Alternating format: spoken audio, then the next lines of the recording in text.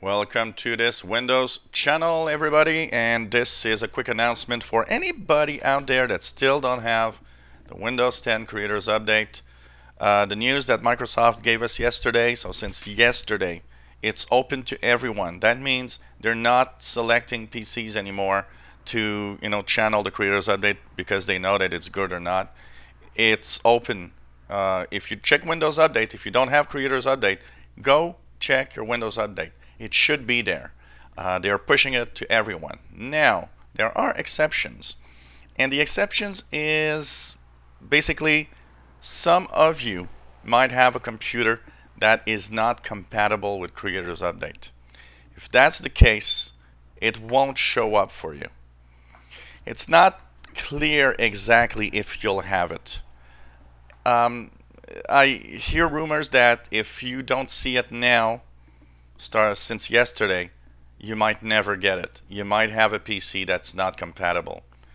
I also hear another type of report that for a small number of people, it eventually will show up because there's still a few things that they're going to update to make it work. So basically, um, get it now, check it out. Uh, a lot of you that uh, actually uh, listened to my news bulletin yesterday where I talked about this have checked, and a lot of you have said, hey, it's there, I, I got it now. So um, technically you should have it. That means technically in the next few weeks, the majority of all of you will have pushed your Windows computer to Creators Update. And so we're, um, you know, a month and a half away from uh, Fall Creators Update.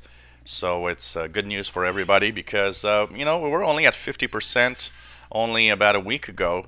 So uh, now this is going to probably really make this number grow really fast. So check your Windows updates, and if it's not there, uh, I don't recommend pushing it for a very simple reason. If it's not there, they know something's not going to work right on your PC. So maybe not a good idea to push it.